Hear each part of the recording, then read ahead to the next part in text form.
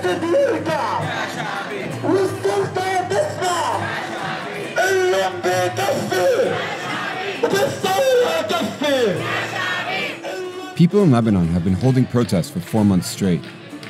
Sandy Shamaoun has been active in the movement since it started. شو عم بيصير هون؟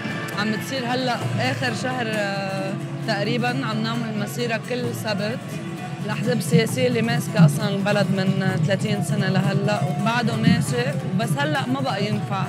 ليش أنت عم تنزلي على الشارع هيك؟ كان لإلي الموضوع إنه أنا ما قادرة أكمل بلبنان صراحة مش بس من موضوع المصاري بموضوع إنه نحن عالم آه، بنكره بعض. يعني عايشين بسبب إنه نظام آه، نحن عايشين ديبرشن جماعية. Lebanon's economy was in crisis well before last year. The government had been putting off repaying its loans and tried to raise money by putting a tax on WhatsApp, which drove people into the streets.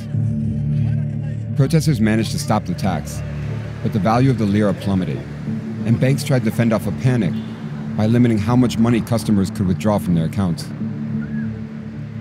بكون انت معك 100000 دولار مثلا بتقول لهم بدي اسحب بيعطوك 200 دولار زين وهن مصرياتك طب بعطوني مصرياتك ما بيعطوك كنت لادفع لاسحب نقدي. كنا بالأول بلشنا 300 دولار بالأسبوع آه بعدين عملوها 300 دولار كل أسبوعين. اليوم عملوها 200 دولار كل أسبوعين. بس عم يسرقونا ما عم يعملوا لنا شيء إلا الناس ينسرقونا وبس.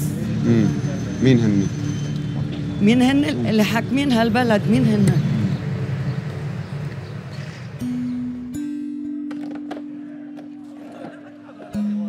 هلا مصرياتنا بالبنوك كلنا سوا كلها على بعضها 120 مليار دولار من هال 120 مليار دولار ما فضلان معهم الا 30 مليار موجودين بالبنك المرك- المركزي بمصرف لبنان The situation has pulled in economists like Joan Shaker.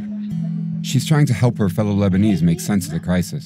I see my role today as a translator, um, translating this technical jargon into language that um, you know reaches a broader audience and actually mobilizes the street. How do you break it down for people? Let's see. Um, the banks have um, used our deposits to fund the government at excessively high interest rates. Why would the government borrow at such exorbitant interest rates? It's Yeah. because our politicians and their friends own the banks. And so they're basically paying themselves exorbitant interest rates from public funds.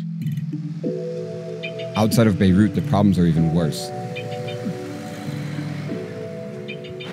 This is usually a busy time for the business the Fahed family has been running for almost two decades. This is my mom's candle shop. Yeah. And since it's uh, Palm Sunday soon, we're working on this uh, special occasion for the ceremony. All right, let's get to work. Okay, so wrap it around the the, candle. The stem? Yeah. Okay. Okay, and it has to be really tight. Oh my God. And then you glue it. And then I glue on the backside. Yeah. Ah, okay. When you're done with it, pressure Okay. on it With the yes, scissors? With the Okay, scissors. Cool, cool, Awesome. okay? Yeah, it's Yeah. really good actually. With the crisis, the wax has been the prices has gone up really, really fast, and it's more more expensive because we import them from uh, outside. But we can't put a higher price on the candle because people won't buy it anymore, even if it's for Palm Sunday. the value of the Lebanese lira Yeah. has also decreased Yeah. significantly, right? Yeah, for many years, as long as I can remember, one dollar equaled one thousand and five hundred liras. Nowadays, one dollar equals two thousand three hundred, maybe. So the goods you're using to make your product that you're selling to people It's have so almost expensive. have almost doubled Yeah, exactly. cost. Yeah. Vanessa's helping her mother because in November she lost her job in sales. So after two months of the re- revolution, um, the first month they have let go one of my colleagues, and they only paid me half of my uh, salary. One month after that, uh, he said, "We're sorry, uh, we can't. We have to let you go. We can't afford to have you anymore." Your mom seemed she seemed really sad. She seemed Yeah, really worried. yeah, because like no one expected the situation to increase to this level. Weeks after protests began, Lebanon's prime minister and his cabinet resigned. But the rest of the government, including President Michel Aoun, have stayed in power. We went to speak with Alain Aoun, a member of parliament and member of the president's party. This is the parliament actually, Uh-huh. and uh, this is where we have our general assembly and meetings uh, inside. He's also the president's nephew. What does the Free Patriotic Movement say about the protest? What's the reason behind it? This is something that is uh, a mix of protest because of the social and financial and economical situation, and of course also sort of distrust in the political class. So you're a politician. You're a member of parliament. Yes. Do you consider yourself part of the political class? I'm part of the political class, of course, uh, but we are not all the same. What needs to happen first, right now, to get Lebanon out of this economic crisis? We have to take decisions about uh, the restructuring of our debt. We have to take decision of financial aid that we will have to secure uh, in order to finance the needs of Lebanon. So More this is- borrowing? Maybe because in all cases we're uh, running out of money. We caught back up with Sandy, who was performing with her band, The Great Departed.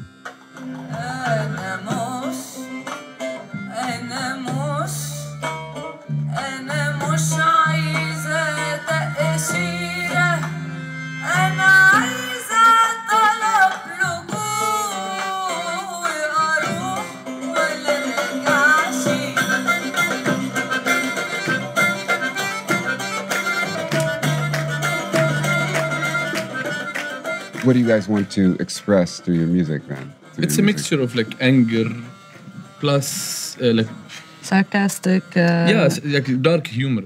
Before the revolution, before the protest, you were thinking maybe about leaving the country. عندي كره للعالم ك- وبكره لبنان وما عم يمشي شيء بعد 17 حسيت انه اه لا أوكي. كلنا عم نحس نفس الشيء. You want to stay in the country. اوف كورس أكيد. و- وحسينا إنه كلنا عم نحس نفس الشيء. فبالنسبه لإلي في أتحمل انهيار اقتصادي هلأ بس إنه مهم إنه يكون في العالم اللي أنا بعيش معهم قادر أحكي معهم واتواصل معهم.